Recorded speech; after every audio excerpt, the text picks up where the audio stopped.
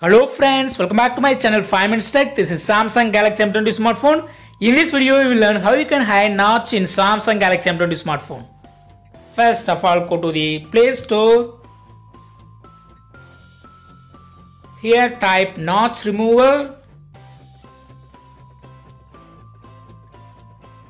and install this app notch remover. It will take few minutes. Just wait.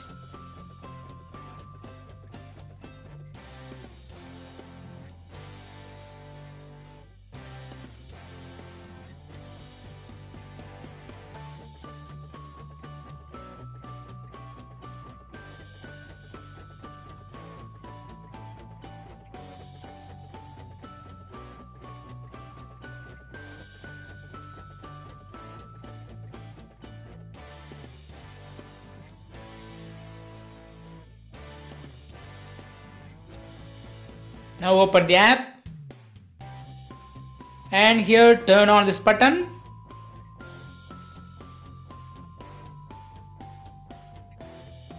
Now the notch will be removed. See here the notch is removed. If you want to again show the full display up to the notch then click on hide notch button again.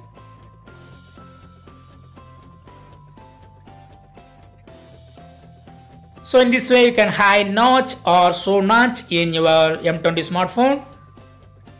That's all friends. Thanks for watching. Subscribe for more videos. Until then, goodbye.